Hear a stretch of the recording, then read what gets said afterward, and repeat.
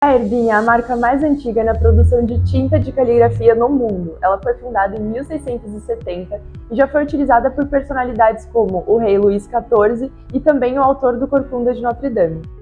Hoje a Erbin produz um amplo leque de materiais voltados para a escrita e sempre com aquele diferencial do design francês. O material que eu trouxe para mostrar para vocês hoje, com certeza vocês vão se apaixonar. São as tintas de caneta tinteiro.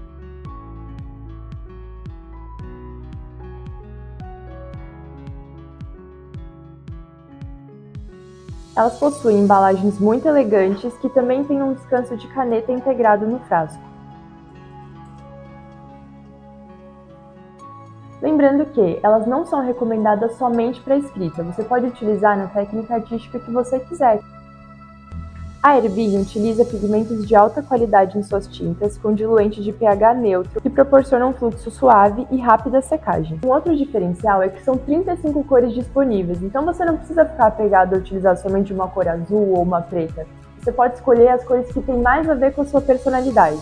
Eu já escolhi a minha, e se você quiser saber mais sobre a marca Herbin, entre em contato com a nossa central de atendimento, será um prazer te atender. Muito obrigada e até a próxima!